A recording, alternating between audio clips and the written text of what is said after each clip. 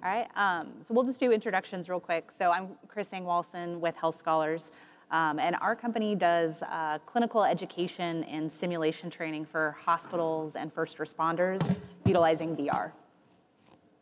Marryam Chaudry, the CEO of XR2Lead, and we do XR for enterprise, end-to-end solutions for immersive learning. Yep, Joe Connolly here with Sketchbox. We build tools to make creating training simulations easier, and we build training simulations for companies like IBM, 3M, and the US Air Force.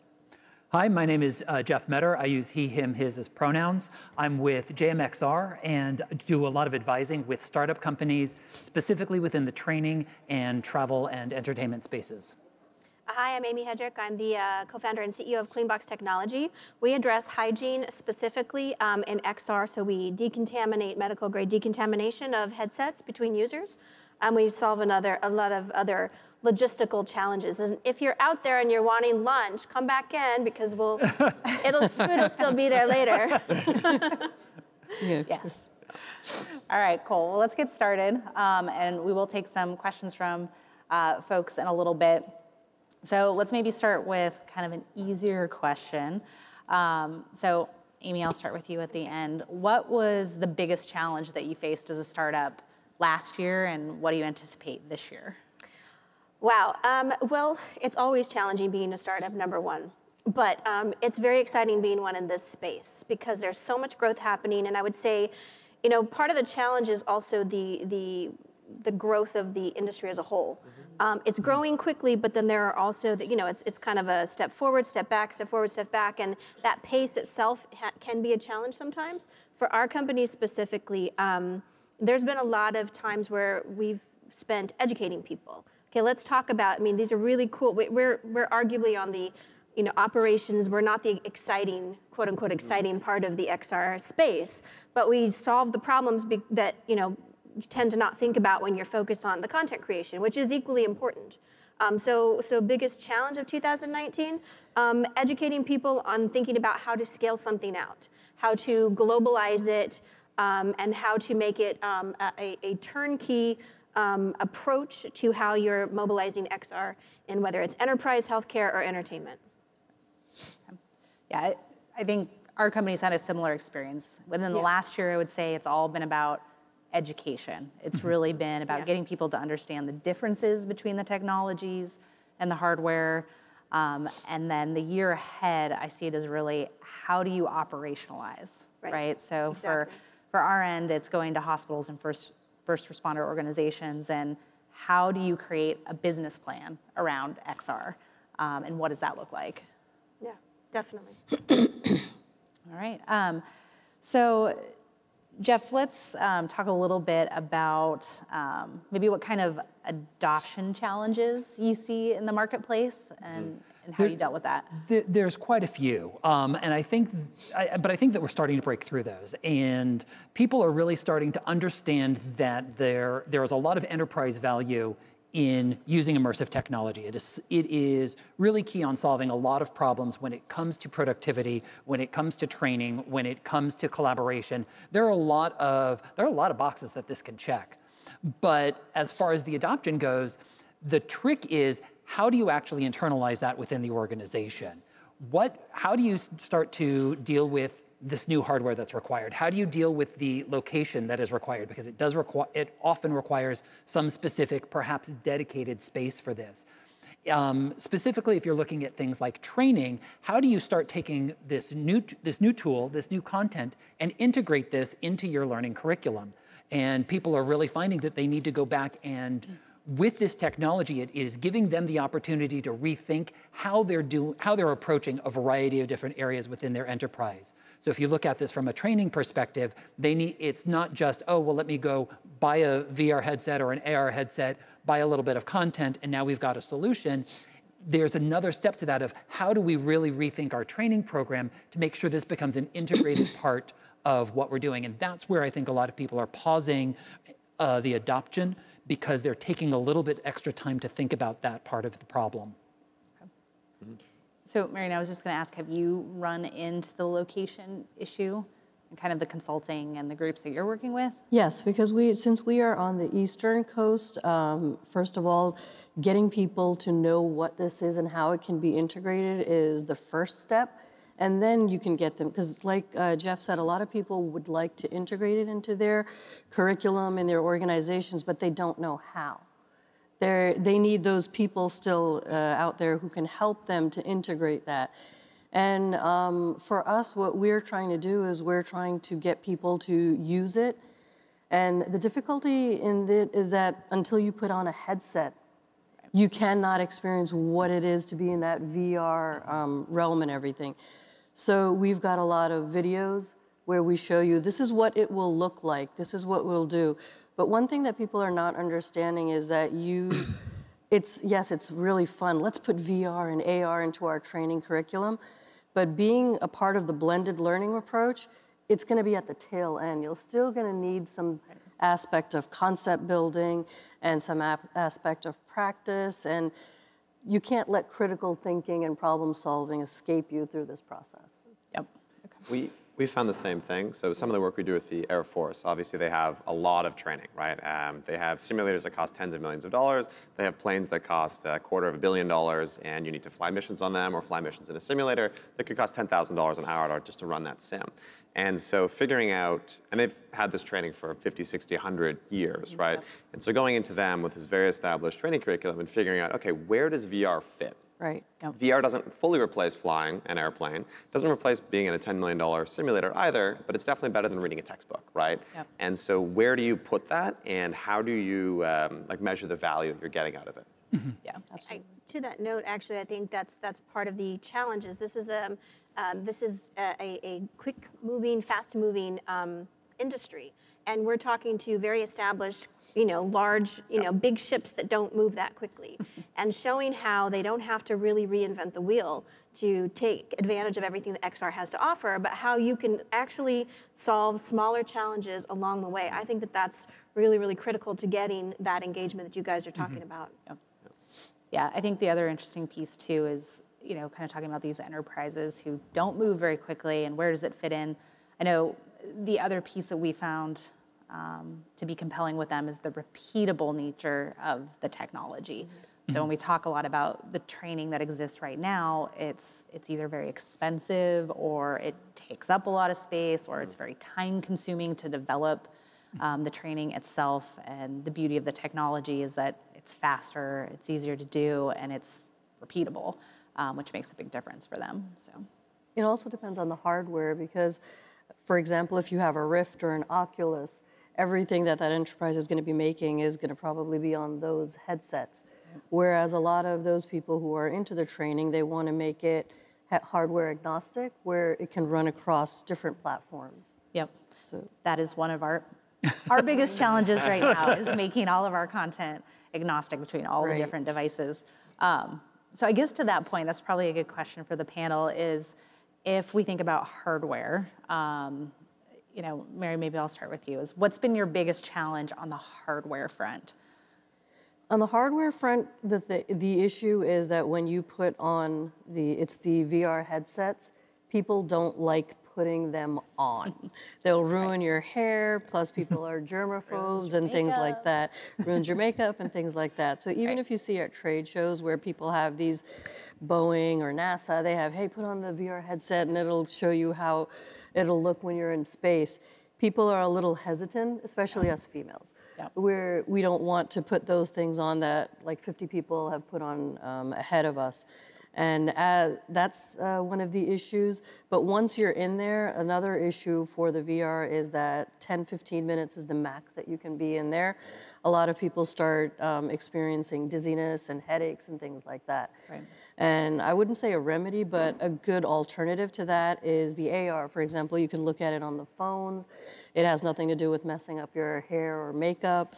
And um, it's just a balance. And it also depends on the culture of the organization. How tech savvy are they? Everybody has a cell phone. So do I really need to buy that hardware? In order to get this training done. Let's see if we can have it across MR, I'm sorry, AR and VR, whereas you can use your cell phones, which is easier, quicker, and everybody has a smartphone these days. Yeah, for us, um, I think the hardware challenges we faced last year versus this year are completely different. Last year, you know, we had a Quest prototype, and you could go in and show that around, but you know, the enterprise couldn't buy an Oculus Quest, couldn't buy a standalone headset, and now they can go to Best Buy or Amazon for $400 have it the next day. And I think the the question for the enterprise between okay, standalone, whether it's a Vive or a Rift, you have to have a high-end computer, you have to have someone that manages that computer, you have to have a dedicated space, et cetera, et cetera. Uh, versus here's a thing that fits in a little box and it just works. Yeah. Um, and that's a totally different um, conversation we're having now. So last year, that was our challenge. Um, this year, it's really about, okay, now that you have these devices, um, how do you distribute them throughout the organization? Right. Um, and how do you let people really access the training that's on them easily? Right. Yeah, Quest, Quest Enterprise has been a game changer Yeah. for us this year, Definitely. for sure.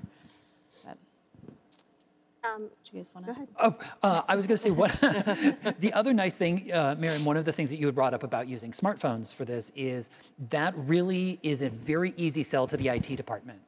Um, because a lot of times when you're dealing with these enterprise solutions, a lot of people are talking to people who are in manufacturing or in training or in different departments, but they tend to lose sight of the fact that this is a technology solution and probably you know, Acme Incorporated or whoever you're working with, their IT department is going to want to get involved with this. When you start dealing with devices that people are familiar with, it really reduces that friction that you're going to have for the adoption because the IT department probably already has some policies in place for issuing smartphones, issuing tablets, et cetera, but they may not have the same for uh, VR headsets. It could be. Um, I mean, it depends on what your use case is. Uh, and I would say that you know, using a smartphone and it's some sort of AR, AR application could be a good gateway if you're a large organization and you're struggling to figure out a way to at least introduce your teams, your individual teams to it, um, and you don't quite have a comprehensive approach yet.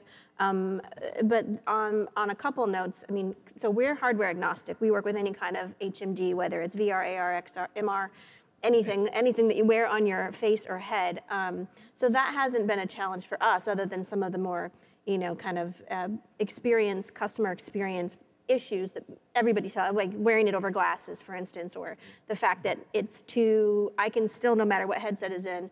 I can still see below, you know, like look down and I can see. so I guess my head is not, is too, my face is too small or something. And I don't think that that's an uncommon problem.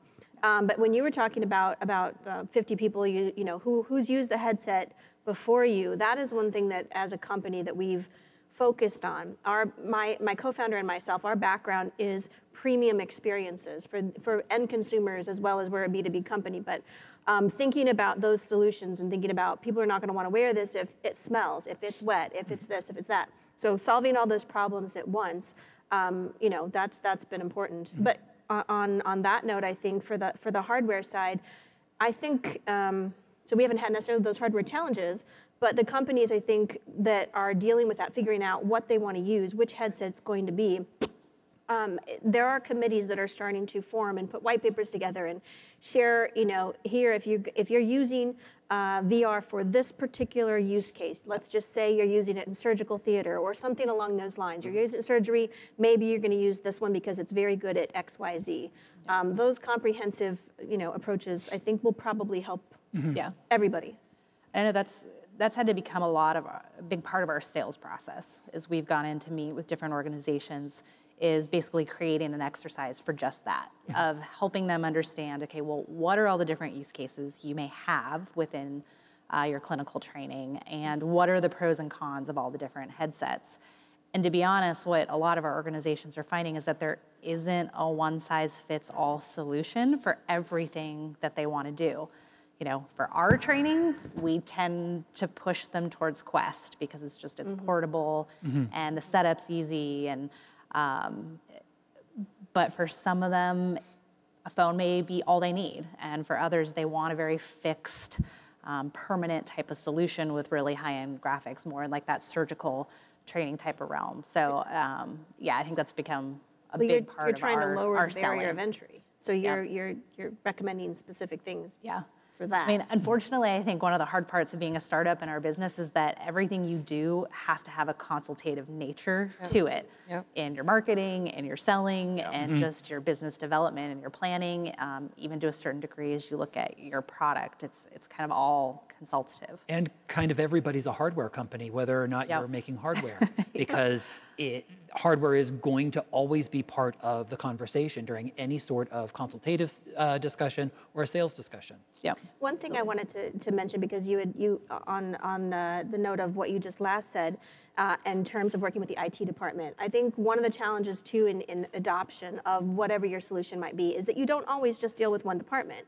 The decision maker is not necessarily the IT department. It is not necessarily. Sometimes I'm talking to the CEO, and sometimes I'm talking to a middle manager, and sometimes someone on my team is talking to the IT department. And I think that will change uh, and I think it will still be probably industry, de- uh, you know, vertical, business vertical dependent.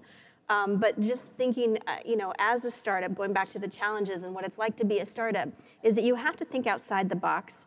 Um, uh, no pun intended on Cleanbox, but literally, literally all the time, and and and and think about it creatively. Like you're you're helping people understand a something new that you have. Um, they probably need to visualize it as much as you would need to visualize a new concept. So how can you make it easier for them? How can mm-hmm. you, you know, say before you even encounter this problem, let me tell you we've already solved it. Mm-hmm. Mm-hmm. Yep. And adding on to that is also the type of corporation or organization you're working with. For example, if you're working with defense, you can't bring smartphones in there. Yep. So you have to Yeah. cater, you can't bring smartphones, and they may want something based on the culture of their organization where there's a high um, intense confidentiality, and you can't bring cell phones, you can't have cameras. So being a startup, you also have to look at the nature and pro- provide the solution that will fit their organization, not just something that's been done before. Um, so let's talk a little bit, probably about everyone's favorite question as a startup is funding. So how do you keep going, and what are the different paths that that everyone um, has taken? So, Joe, maybe why don't we start with you? Yeah, I mean, so we went through Y Combinator a year and a half ago. We finished Y Combinator, uh, raised a seed round, um, and I think uh, you know there's definitely positives and negatives to taking venture capital. Um, because we're able to raise venture capital, we did. Um, but yeah, I don't know. We at that time we had you know no revenue uh, and no customers, and it was the only way to keep going forward. Now things are a lot different. Um, but yeah, it really depends where the company's at. Yeah. So I, I can speak to ours. Ours is kind of an interesting combination of a few different. Um, so, you know, our company was fortunate to have some degree of revenue pretty much from the beginning, but part of us continuing is our depth of portfolio. So we obviously needed um, funding to continue to be kind of first to market and expand our portfolio. And we went two routes. One for us, um, grants made a lot of sense. Um, there is more money than you would think in the grant world. Um, we actually were able to acquire um, a $600,000 grant um, two years ago with NIST. Um, and they were really involved in developing technology for first responders. So that was kind of our first foray into funding. Um, and then we also went the VC route. Um, we just finished our Series B. Um, but in that, we're from Colorado. And we thought for sure Colorado's, you know, huge with startups. It's a big tech community, huge in um, bio and kind of med device. We couldn't find a drop um, in Colorado. We just did not have luck for some reason, and we actually ended up going um, Midwest, East Coast, and had a ton of success. So I think that's kind of interesting too, as I think some people are always afraid to kind of look outside. They think go West Coast, East Coast, and Midwest ended up being super helpful for us for VC money. So, yeah. Anybody else? The other thing that, that I've just seen with people is they are. I'm seeing people still starting too soon on trying to raise the raise that money and be and going into that process unprepared. Um, right now, right now more than ever, it's really important that you have not just an idea, but you have demonstrated your ability to deliver on this idea. That can take a, a variety of different formats, but usually that means some sort of revenue, some sort of customers, even if, it, even if those customers are not paying anything, but they're willing to vouch for you and say, we can't live without this solution, that's worth its weight in gold. And you need to really make sure that you've got some sort of credibility that you're bringing to the table that what you're designing and what you're developing and what you're creating is something that is good, something that is saleable, and something that people really, really want to implement in their organizations. You want to? Um, so we've got about 10 minutes left, and I did want to see if folks have questions in the audience that they may want to ask us directly. If there's anyone. if not, I've got a bunch of other questions, but if you do, raise your hand. Right, no. Okay. Um, all right, so one of the things I did want to talk to is. Um, what are, I guess, what are some of the questions you've kind of gotten through um, your journey that you maybe were just unable to answer um, or maybe didn't have good answers for at the time um, that people should be on the lookout for? Well, for us, we're a kind of a first to market product line. So I think that comes with its own set of challenges. And then back to kind of the funding component of that as well. Um, there are a lot of questions for that. I think when you talk about VC money or anything like that, uh, that th- ultimately people in finance are actually very risk adverse. Um, and I think coming in as a startup, you have these great ideas and you're very creative and, and you know that you can solve a problem, but just showing that you can solve a problem is never going to be enough. Um, we've been we've been privately funded to date. Um, you know, I'm going I'm starting another round right now, um, but also you know so you think about that in terms of how do you answer those questions as a startup? What's right for your company? Um, thinking about the remembering that not all money is equal. Um, I think that's really really important. Um, and then you know thinking about how you put together your team who to ask those best questions. Sometimes there is not anybody and you know there's this is why i guess you you seek out other people in the space and you take advice but you also really ultimately have to be accountable for what it, i guess ultimately somebody somebody's advice might be the best for them but you're probably going to have to take it and compare it and take notes with your with your own thoughts on that. So i think being very in tune with you know trying to st- keep your ear to the ground. What's what's the industry doing? How are things going? And, and understanding that you might have to just be your own consultant some of the time. Mm-hmm. Yep. I often think that the hardest question to answer is, huh? Because, because it, it shows that somebody has a fundamental lack of understanding of what mm. it is that you just said. And that means, I mean, it's kind of great that they're asking and, and tipping you off that, oh my gosh, I did not explain this in a way that's really reaching to my audience. But those are the sorts of questions that make you really rethink fundamentally how do I explain what it is that we do as a company? That's you're going to be faced with that all the time. Um, and sometimes you like to say, oh, it's just them. But listen to that question and really make sure that you're able to very concisely and eloquently describe what it is that you're doing, what's the problem that you're solving, who is this for. That's going to, that's to make your message so much clearer. However, in, um, in this industry, in AR, VR, sometimes it's very difficult to explain to someone what exactly it is you're doing without a visual. I, I agree, and I think that you raised a really good point earlier, which is you just can't get people to understand something until they put on a headset, until they've experienced it themselves. We are at a severe disadvantage because there's not a good verbal description mm-hmm. of what VR is like, what AR is like. It's like, let, let me show you. And that doesn't always work. Really bad on a phone call, for instance. Um, but, it, but I think to your credit, that's, that's one of the big stumbling blocks that we have in those discussions. Right. So uh, on that, I, I mean, we face that too. Is how do we fix that? Like, how do we change it? I mean, does anybody have a good, a good solution? Well, the way we've been doing it is that we have, for all the projects that we've done, we have videos that we can put on our website, or we can ha- we have links on YouTube, which we can at least show them that when you put on the headset, this is the um, this is the view that you'll get. And we've even gotten people from uh, big government contractors from for cybersecurity training who want to use AR and VR for cybersecurity training, which is kind of like if you think about it for a second, how are you going to do that? But once they started looking at our videos, they were like, they started getting the ideas on their own. Right. They were like, oh, we could do this and we could do that. I'm like, we're here to assist you. Yeah. I mean, I, I know one of the things that I'd love to see is from more of the professional organizations kind of within our industry is I'd love for them to start doing road shows. Mm-hmm. So mm-hmm. instead of having these giant conferences, no offense, conferences are fantastic, but being able to get the product out to the people that are actually going to use it, um, I think would be ideal. Because the more folks that just put it on and see the value and see the value outside of just gaming and entertainment, because that's our other obstacles. People just don't understand there's use cases beyond that.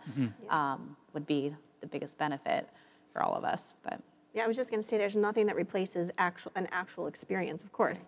Um, but one thing that I'm, I'm starting to see a little bit differently is, um, you know, like when it comes to marketing, how do you market VR, AR, MR? And 90% of the time, um, you see a picture of a person wearing a headset. And what I, I personally have always felt that that's a bit, uh, you know, that's not what's going to get somebody to want to try it on. They look like, Right, it's yeah, I'm sorry, what? I'm not going to wear that big ass thing on my head. Um, but you know, so showing people more the actual experience within it, and, and maybe focusing on that, like. f- And I've, I've used this example at other conventions before, but it, it actually had a profound impact on me. We work with companies all over that do different types of training. KLM is one of them, um, and they were they have a training VR program that um, presumably they've probably updated by now, but at the time um, I was able to go through and experience. You know, I was I was a flight attendant in first class, and I had to. There was a smoke coming out of of um, the, the baggage areas. And um, you know, the, the experience started out where it, it was, you know, you see a little bit of smoke. The passengers are calm. There are a few people there, and then there's more and more smoke. And you know, I have to, as you know, in, in my flight attendant uh, position, have to go find the fire extinguishers. And there are two places, and and then there's more and more smoke. Then the passengers start to notice. Then they look at you. Then they become aggressive, and one of them starts to walk towards you. And then you hear babies crying. And this is all, you know, like if you just say, hey, I can teach you how to, you know, handle emergency situations. Well, there's, yes, you can say that and you have to say it to get people involved and interested. But you should, you know, when you're actually there, it's obviously there's no smoke, but I, I found myself kind of wanting to cough just in case. you know, so I think um, I love the, you know, the roadshow thing, having it in people's hands. Again, it comes back to lowering the barrier of entry to the actual value that it brings. So with just like the last few minutes that we have, um, and Joe, maybe I'll start with you, is what do you think is, what technology or what advancement do you see is going to be the biggest game changer for you in the next year? Yeah, I mean, we're excited about, uh, I mean, the Oculus Quest, if you think about it, um, is from 2017, really, is when the dev kit specs were set in stone. Um, that's almost three years ago. Uh, and if you think about the Quest 2, right, that's not just going to be a two year improvement, it's going to be about a five year improvement. Um, and if you start thinking about all of the things you have to do to get a VR training sim to run on a Quest, all the performance optimizations, um, and it doesn't look as good as it looks, obviously, on a, on a laptop or high-end PC. And the Quest 2 is going to make a huge difference for that. Um, the idea, Miriam, you brought up of only being okay for 15 minutes, I think that'll be solved by the next version of the Quest because the frame rate will be higher, it'll be lighter. Um, so we're really excited to see that. Anyone else? I think uh, the, the two things that are really going to be impacting that are the overall form factor, which just makes it a much more accessible device, where it's not, where it's easier to put on, easier to take off, easier to clean, um, and the other thing with that is the uh, expanded field of view. I think, especially with uh, augmented reality headsets right now, that's so limited that it's it's preventing some really good use cases in there. Yeah. But but we're seeing a lot of nice progress. I'm sure you can see some in the expo hall right now. So I'll, I'll say for us, it's a little bit different. Um, voice technology is going to be huge for us. Um, so right now, a lot of our uh, simulation um, applications are voice driven. So because what we're trying to teach is not just uh, the physical muscle, muscle memory um, in clinical training, but the soft skills. Um, and obviously, communication is a big piece of that. Um, we've developed some of our own proprietary and then be, been using um, Google services and it's pretty good, but it's you know it's got limitations. Um, it's not as responsive as we'd like it to be. So I I think what's coming out in the next year with some of those advances and also within the localization opportunities will will be important for for what we're trying to accomplish. So, anyone else? All right, cool. Oh, I think we question over do have a there. question back there. Cody, do you mind? Thanks. Well, thank you for uh, speaking. Oh, wait, I What? think he did have one question. Oh, man, I don't get one. Okay, fine. You can. Hey, thank you for the panel discussions. I have one question. So, what's the killer app to convince people to buy the AR VR headset? For example, I'm a consumer, I'm a kind of tech fan. I want to buy one, but how you convince me to buy one AR headset for like daily use, one hour like this? So quick clarification, though. Are you trying to convince the consumer to use it for entertainment for their own personal use or for a business use case?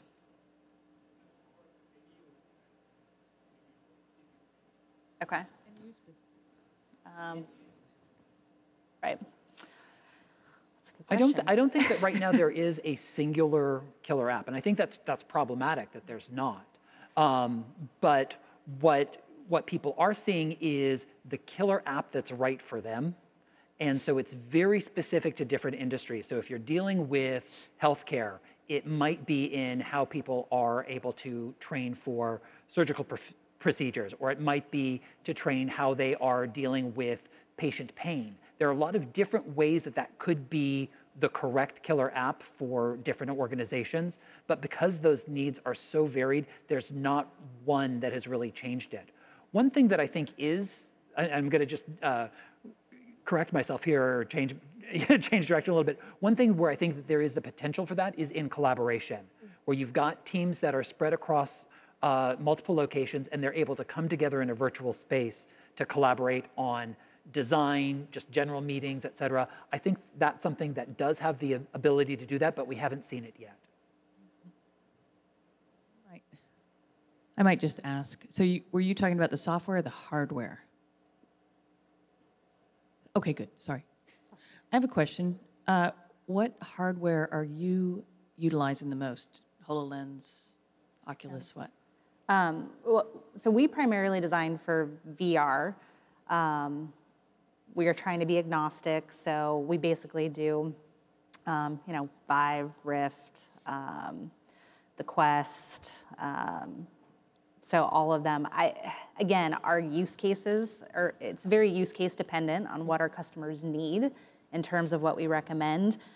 I will say for our own ease of use and what we're doing and what most of our customers are trying to accomplish, we are going with the Quest because it is it's all in one. There's going to be an enterprise support, which is huge for healthcare, um, and it's just easy setup. So Amy, like, which ones are you Well, focusing on? Cleanbox works for every headset on the market, whether it's you know f- everything from the Pimax to the Quest to the Go to e- everything. Personally, I mean, I carry around a Go because I travel all the time, and if I'm going to go in Altspace, I want to take the minimum. You know, if I have to do something, I, I want it to be comfortable on my head. You know. And I, I ask that because I mean I'm hearing that the number one problem is the headset, right? Like putting it on, and mm-hmm. and that's what the people sitting in these seats, right. and that's what they're working on, right? I mean, this is what we're working Yeah. on: is how do we make these headsets better so we Yeah. can enable you to do more. Mm-hmm. How about Joe or Jeff? What do you think? Yeah, I mean, we build exclusively for the Quest, um, and that's sort of where we see the future of VR going. That form factor. Thanks. I see, I, I see all sorts of devices uh, out there, um, and it really de- it depends on the industry. The Quest is certainly a super popular device. I think that smartphones are also very popular just because it's this easy point of entry for a lot of people. Um, and for some for some industries, getting a more industry-specific headset, something that's more like a Lenovo that that fits into a, integrates into a hard hat, those are also really important. So there's a lot of different use cases that are out there. I've seen them uh, integrated into flight equipment as well, uh, pilot helmets. Th- I- that was awesome. Yeah, military, whatever Yeah. it is. I will just add really quick though for for the hardware folks, like the two biggest form factors that you could do a better job thinking about is designing for non-gamers and women. I can't tell you how many issues have come up specifically for women and like hand size, neck strength, like hairdos. We had to do a whole video that you have to take your hair down. Like headsets don't fit if you've got a ponytail or a bun or you've got if you're African American and you have, you know, braided hair or things like that. So um, a couple things to consider on the hardware end, which is interesting. And just one, any last quick thing? Just Yes, I think that it also depends on providing value, and I'm answering both the questions at once. That which hardware to use and um, how to convince you will be on what value we're going to provide to you and how it's going to help you. If we can target that, um, I think again it'll be agnostic of whatever headset we use, as long as according to your organization, according to your requirements, if we can give you what you need, uh, we can use any of those headsets. But yes, the Quest is very popular for VR and um, AR. There's a lot of um, new uh, augmented reality headsets here in this um, expo as well. Well, I think we're, uh, I think here we're going to show you the future and again, help you grow your company. So Thank you. thank you so much for being here. And I want, Absolutely. yeah, thank you so much. Everybody give them a big round of applause. I appreciate it. Thank you. Thank you. Thanks.